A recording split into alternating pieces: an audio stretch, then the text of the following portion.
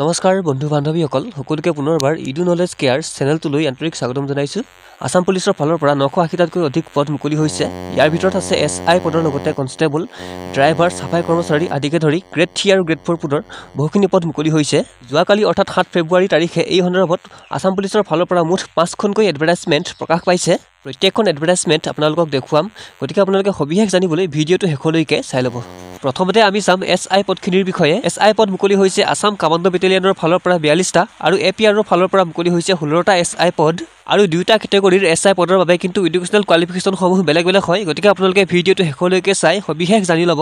এইখন হৈছে আছাম কামাণ্ডো বেটেলিয়নৰ ফালৰ পৰা প্ৰকাশ পোৱা এছ আই পদৰ অফিচিয়েল এডভাৰটাইজমেণ্ট সকলোখিনি পদৰ বাবে আজিৰ পৰা অৰ্থাৎ আঠ ফেব্ৰুৱাৰী তাৰিখৰ পৰা অনলাইন এপ্লাই আৰম্ভ হ'ব আৰু লাষ্ট ডেট হৈছে বাইছ ফেব্ৰুৱাৰী দুহেজাৰ তেইছ।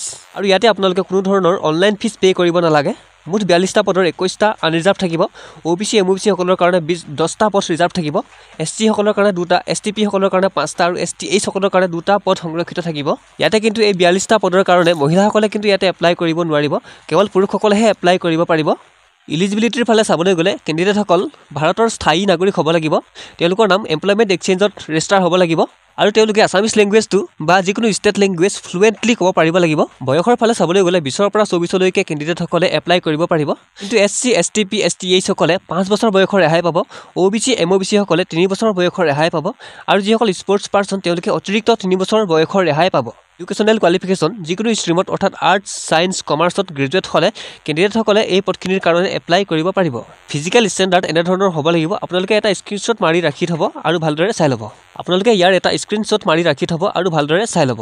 হাউ টু এপ্লাই কেনেকৈ এপ্লাই কৰিব এপ্লাই কৰাৰ ভিডিঅ' হয়তো আপোনালোকে ইয়াৰ পাছৰ ভিডিঅ'টোত পাই যাব। গতিকে আপোনালোকে আমাৰ চেনেলটো ছাবস্ক্ৰাইব কৰি বেল আইকনটো প্ৰেছ কৰি ৰাখিব তেতিয়া আপুনি আমাৰ সকলোবোৰ ভিডিঅ' পোনপ্ৰথমতে পাই থাকিব। প্ৰথমে হ'ব আপোনালোকৰ এটা ৰিটেন টেষ্ট একোটা প্ৰশ্নত এশ নম্বৰ থাকিব আৰু আপোনালোকৰ নিগেটিভ মাৰ্ক থাকিব হাফ বা ওৱান বাই টু তাৰ পাছত হ'ব আপোনালোকৰ পি এইচ টি বা P E T physical standard test আৰু ফিজিকেল এফিচিয়েঞ্চি টেষ্ট ইয়াৰ পাছত এইখন হৈছে দ্বিতীয়খন advertisement Assam police A P আৰৰ ফালৰ পৰা আহিছে ষোল্লটা এছ আইৰ পদ। দৰমহা হ'ব চৈধ্য হাজাৰৰ পৰা ষাঠি হাজাৰ পাঁচশ টকা আৰু গ্ৰেড পে' হ'ব আঠ হাজাৰ সাতশ টকা। আনৰিজাৰ্ভ পদ ছয়টা O' B C M O' B চিৰ কাৰণে ছয়টা পদ ৰিজাৰ্ভ থাকিব। এছ চিৰ কাৰণে এটা আৰু এছ টি এইচৰ কাৰণে তিনিটা পদ ৰিজাৰ্ভ থাকিব।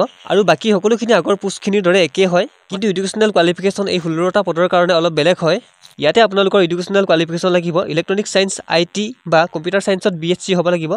বা কেণ্ডিডেটজন পলিটেকনিক বা ইলেক্ট্ৰনিক্স বা ইনফৰমেশ্যন টেকন'লজি বা কম্পিউটাৰ ছায়েন্স বা কম্পিউটাৰ ইঞ্জিনিয়াৰিঙত তিনি বছৰ ডিপ্ল'মা থাকিব লাগিব। লগতে দুই বছৰ এক্সপেৰিয়েঞ্চ থাকিব লাগিব। ইয়াৰ উপৰি কেণ্ডিডেটজন যদি এম চি এ বা master of computer application pass কৰিছে তথাপি তেনেহ'লেও তেওঁ এই পদখিনিৰ কাৰণে এপ্লাই কৰিব পাৰিব।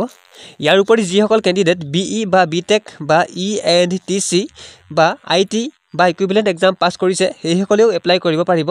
বাকী সকলোখিনি ইয়াৰ আগৰ পোষ্টখিনিৰ দৰে একেই হয়। আজিলৈ ভিডিঅ'টো ইমানতে সামৰিছোঁ। ইয়াৰ পাছৰ তিনিটা এডভাৰটাইজমেণ্টৰ বিষয়ে আমি ইয়াৰ পাছৰ ভিডিঅ'ত আলোচনা কৰিম। গতিকে আপোনালোকে চেনেলটো ছাবস্ক্ৰাইব কৰি ৰাখিবলৈ নাপাহৰিব।